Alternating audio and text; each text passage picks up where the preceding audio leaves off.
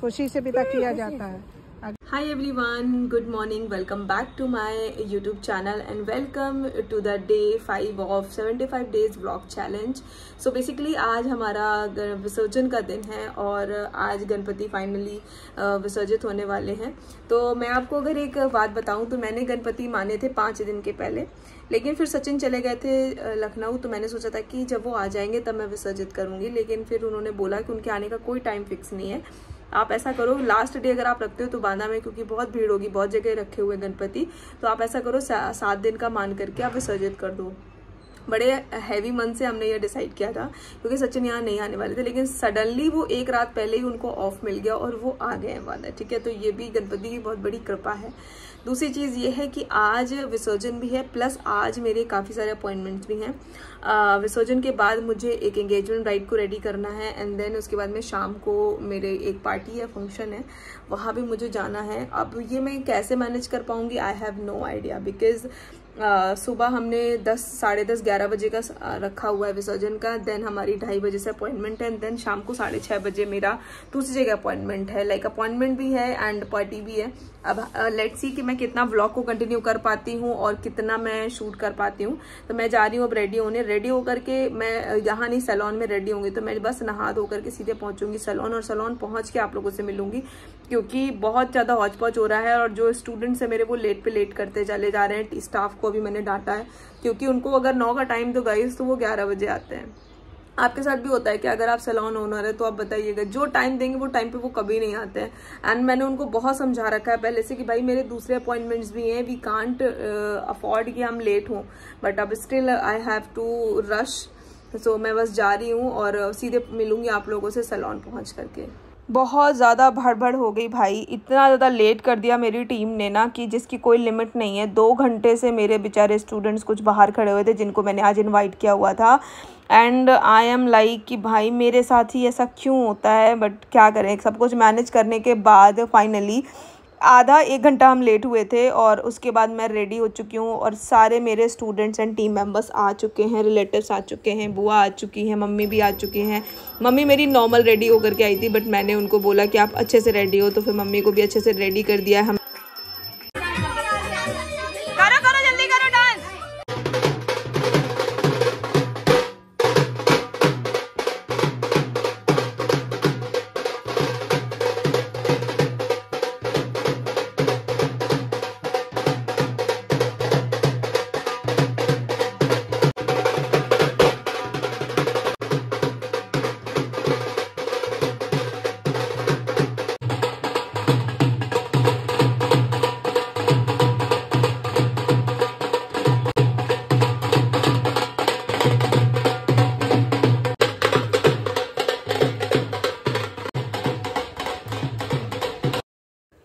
Okay guys तो आप जैसे देख सकते हो कि कितनी खुशी है। सब लोग कितना ज़्यादा खुश हैं, सब लोग कितना ज़्यादा डांस कर रहे हैं और सबने बहुत ज़्यादा इन्जॉय किया एंड स्पेशली मैंने तो बहुत ही ज़्यादा इन्जॉय किया। तो हम लोग इसी तरीके से गणपति का डांस करते हुए पहुँच रहे हैं नदी के पास में और पता नहीं कैसे नदी एक रात पहले ही बहुत ज़्यादा बढ़ गई थी हमारी, जो हमारी केन नदी है। बहुत ज़्यादा वो बढ़ चुकी थी और बहुत ज़्यादा बाढ़ आई थी उसमें तो इस वजह से आप देखो पानी बहुत आगे तक है तो जो इसका एंड पॉइंट है वहाँ तक जा ही नहीं पाए क्योंकि इतना ज़्यादा बाढ़ आ चुका था। और हम लोग बहुत ज़्यादा इंजॉय कर रहे थे बहुत मस्ती कर रहे थे। आप देखो हमारे पूरे वीडियो में आपको सिर्फ़ सबको कुछ देख करके इतना अच्छा लगता है। ये देखिए आगे मेरी बुआ जो है वो गणपति को लेकर के डांस कर रही हैं और सब इतने ज़्यादा खुश थे इतने ज़्यादा खुश थे जिसकी कोई लिमिट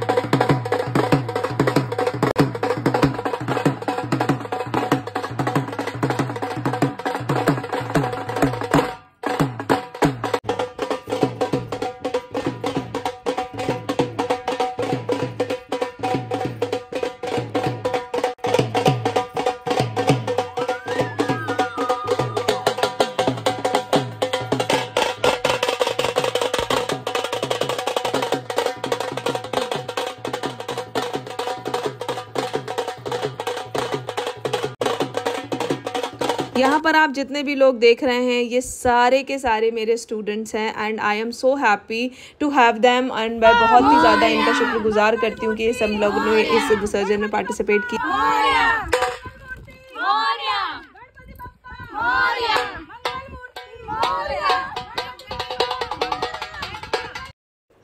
सो so गाइज़ आप लोग देखो कि कितना ज़्यादा कीचड़ है आगे तक और ये जो आप देख रहे हो ना, ये कम से कम अभी मतलब 500 मीटर तक और आगे जा करके नदी मिलती है बट ये बहुत ज़्यादा आगे आ गई थी।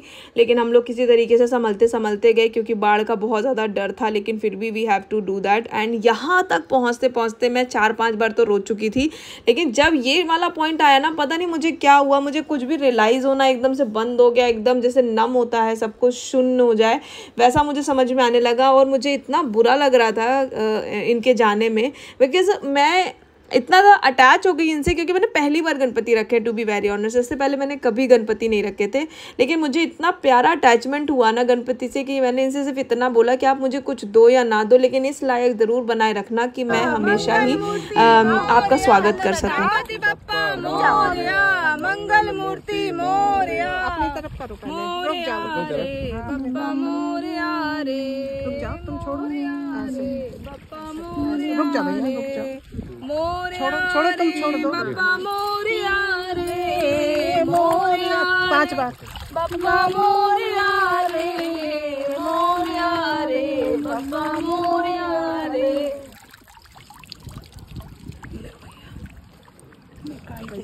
ये पैसे निकाल।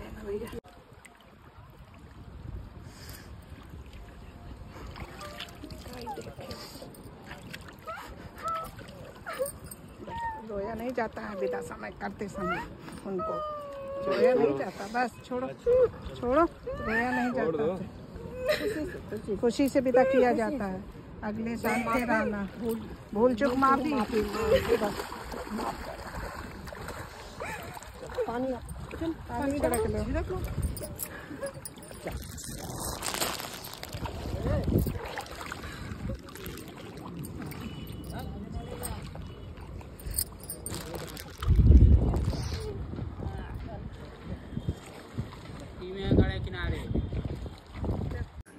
ऑल राइट गाइस सो अभी मैं आ चुकी हूँ सैलॉन में और uh, हो गया है।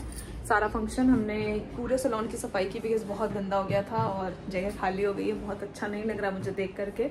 So now I am getting ready for my appointment so अभी मेरा एक अपॉइंटमेंट है मेकअप का I have to go there and driver आ चुके हैं सो so, वैनिटी भी हमने सब लगा ली है। एंड अब मैं जाऊँगी मेकअप uh, करने के लिए।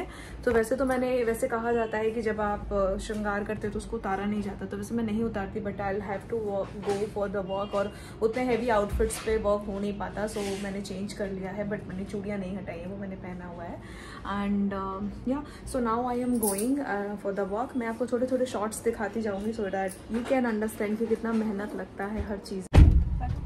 बैठ गए? भैया यहाँ से कितना दूर है अभी? डेढ़ किलोमीटर है। डेढ़ किलोमीटर? कहाँ पर है? ये आपने देखा ऑल राइट गाइज़ तो अभी हम निकल चुके हैं अपने वेन्यू के लिए because it's my venue bride and if you wanted to book me then यहाँ पे मैं नंबर छोड़ रही हूँ, आप उस पर कॉन्टैक्ट करके हमें बुक कर सकते हैं for your big day and बाकी आप मुझे इंस्टा पे फॉलो कर लीजिएगा हमारे लुक्स वगैरह देखने के लिए so we are done with the look but we can't show her because of her privacy issues तो मैंने उनका कोई भी पिक्चर या वीडियो नहीं यहाँ पे लिया हुआ है, और अब मैं जा रही हूँ घर।